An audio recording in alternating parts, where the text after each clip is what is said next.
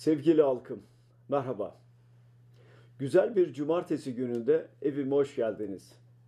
Uzun süredir düşündüğüm bir konuyu sizlerle samimi bir şekilde konuşmak istiyorum. Hepimizin artık malumu önemli bir değişim kapıda. İktidar değişiyor. Ancak iktidarlar hep değişti.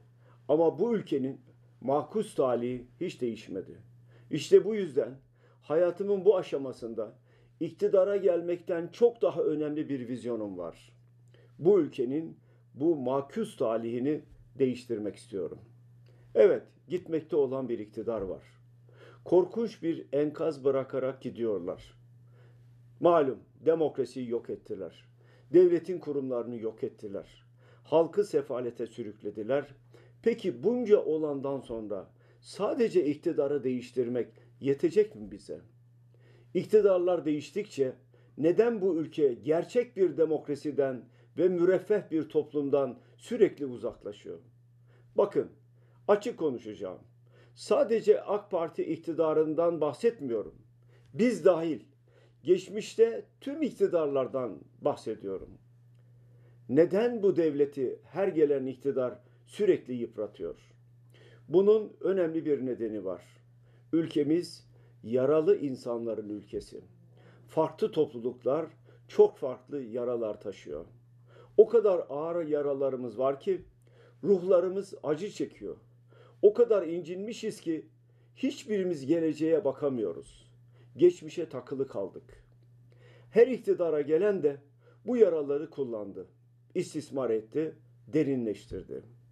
Tarihimizde de bunu en çok AK Parti hükümetleri yaptı. İnsanları birbirine düşürdü.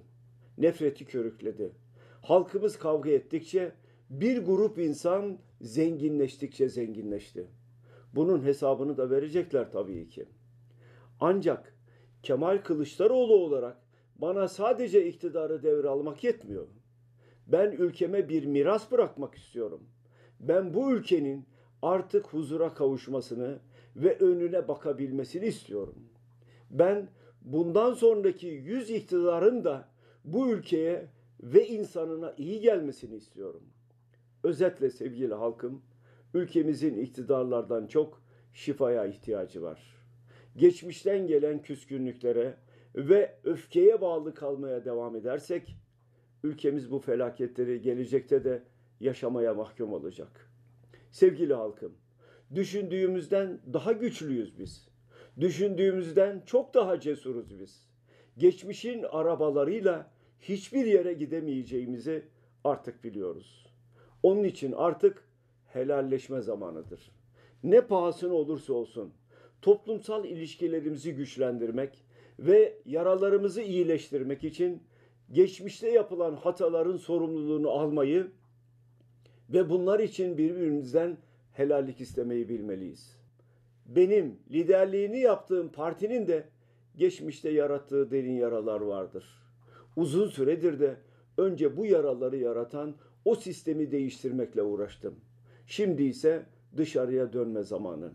Ben bu yaraların kapanması için helallik isteme, helalleşme yolculuğuna çıkıyorum. Geçmişte kırdığımız, korkuttuğumuz topluluklarla, bireylerle, farklı hayat tarzlarının temsilcileriyle buluşmalarıma başlayacağım. Ben ömrümde bu ülkede nefreti ve sevgiyi bolca gördüm. Ve sevgi hep daha güçlü oldu. Artık sevgiye bu savaşı kazandırma zamanı. Affetmeyi ve affedilmeyi kucaklayarak helallik istemeyi ve vermeyi başarmalıyız.